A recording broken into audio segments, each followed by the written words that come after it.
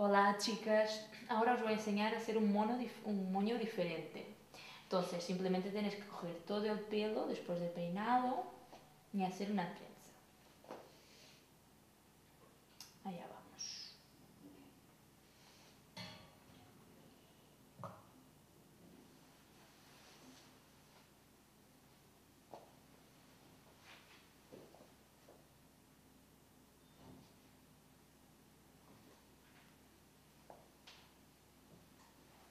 Que os quede más bonita posible, pero no apretarle demasiado la cabeza.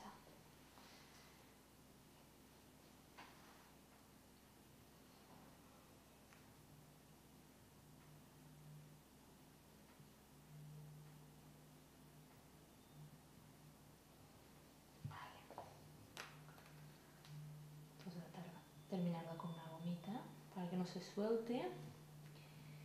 Y ahora simplemente tenéis que enrollar, como si fuera un moño. Al enrollarla, la idea es que podáis esconder pues, la goma y el pelo que sobra, ¿no?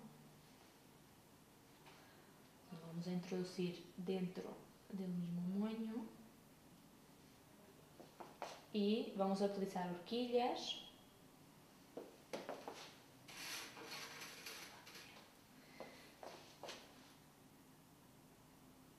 las horquillas propias para hacer moños, ¿de acuerdo? Pues podéis coger las negras o marrones e introducirlas en la trenza.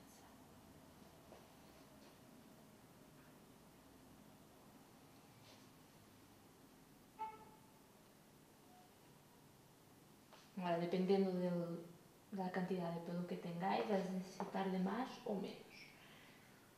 Por eso ya vais viendo a la medida que lo vais introduciendo.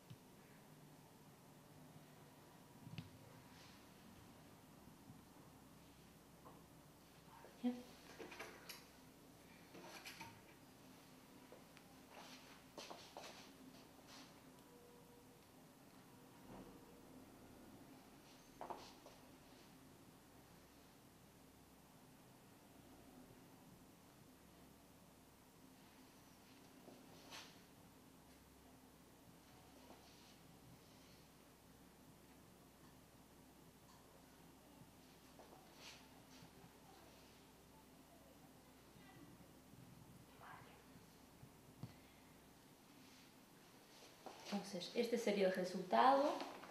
Ahora, por ejemplo, en este caso deberíamos haber usado horquillas marrones para que no se notaran tanto que, están en el pelo, ¿no?